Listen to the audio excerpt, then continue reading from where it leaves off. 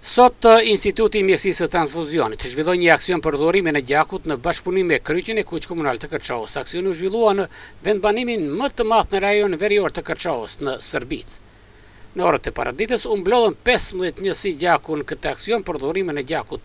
Interesant aksioni i kryer në këtë fshat u realizua me kërkesë të vetë banorëve për arsye thjesht humanitare. Kryetari i Bashkësisë Lokale të Sërbicës, Lulzim Ramqa, si bartës i kësaj vepre humanitare u shpreh.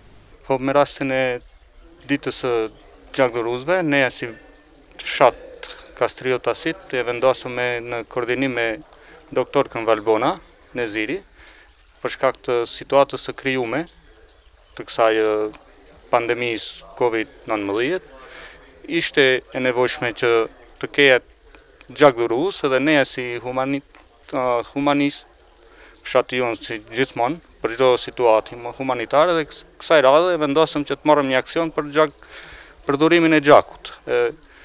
Banorët e fshatit tonë kishin një interesim edhe sigurisht se me vlerësimin e doktorkës Valbona, që ka edhe mjetet e duhura adekuate, ata të cilët do i plotësojnë kushtet për dhënë gjak, këtu në shkollën e Gjergj Kastrioti Skënderbeu, ka interesim të mjaftushëm dhe deri tash jemi mbi 9 persona që kanë dhuru gjak, interesimi është i lartë dhe shpresojmë se do të vijë deri ke 30-35 gjakdhurus, po që se janë i plotësojnë ata kushtet për të dhuru gjak. Interesante, vetë fshatarët e Sërbicës, për arsye humanitare kërkuan që të vijmë sot ne këtu për të realizuar këtë vepër humanitare. Lidhur me aksionin, doktoresha Valbona Neziri u shpreh.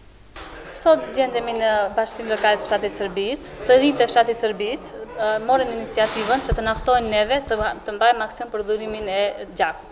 Ky është një aksion shumë tejet humanitar. I faleminderojmë shumë për iniciativën. Ne me kënaqësi e pranuam këtë ftesë. Rrallë herë ndodh që dikush të na ftojë që ata të mbajnë aksion me, me iniciativë të vetën të mbajnë aksion për dhurimin e gjakut. Tani deri tani tani është fillimi vetëm i aksionit të gjakut. Shpresojmë deri në fund ditës nuk e dimë si do rrjedhi. Për momentin ka shumë të interesuar me sa e shof. Numrin e saktë nuk e di se sa do të jetë, por shpresoj besoj se do të jetë i madh. Ai varet edhe nga numri i personave të paraqitur për dhurim të gjakut, por gjithashtu edhe nga numri i personave që do të pranojnë dhe që i përmbushin kushtet për të dhuruar gjak, se normalisht nuk mundet çdo njeri që nuk është i shëndoshë të dhurojë gjak, duhet të jesh plotësisht i shëndoshë për të dhuruar gjak. I falënderojmë shumë gjithë të rinjtë, gjithë të rinjtë që na kanë na kanë ftuar, gjithashtu faleminderojmë të gjithë drejtorinë e shkollës fillore Gjergj Kastrioti Skënderbeu që na liroi hapësirat e veta për t'u mbajtur ky aksion. Aksioni i sotëm u zhvillua në koordinim me strukturat menaxhuese të komunitetit lokal në ambientet e shkollës fillore Gjergj Kastrioti Skënderbeu në fshatin Sërbicë të Kërçovës.